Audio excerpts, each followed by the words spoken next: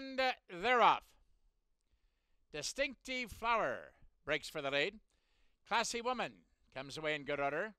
The favorite Olendon is up on the outside, and Bramble Queen is the last horse away. As they pass under the wire for the first time, as expected, Distinctive Flower will have the lead by two and a half. Olendon under stout restraint, racing second. Classy Woman is there toward the rail third. Fleur de Mer up on the outside fourth, and Bramble Queen drops back and lags the field. Around the clubhouse turn they go. Distinctive Flower in the clear by three. Olendon moves up a closer second. Fleur de Mer on the outside third. Classy Woman is fourth. And Bramble Queen is still the trailer. Up the backstretch. Distinctive Flower Olendon. Still handheld. Moves up on the outside second. Fleur de Mer is there third. Classy Woman inching up a closer fourth.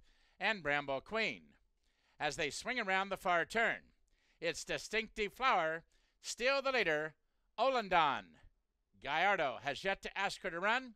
Now he pushes on her a little bit. As she responds and moves up the challenge. Two and a half lengths farther back. Here comes Bramble Queen. She's gaining ground as they turn for home three sixteenths of a mile to run. Bramble Queen is full of run down along the inner rail. Distinctive Flower tries to battle back on the outside. Olendon is under all out pressure. Bramble Queen trying to pull a major upset. Olendon on the outside. It's Bramble Queen in front. Coming up with a huge effort on the outside. Olendon settles for second.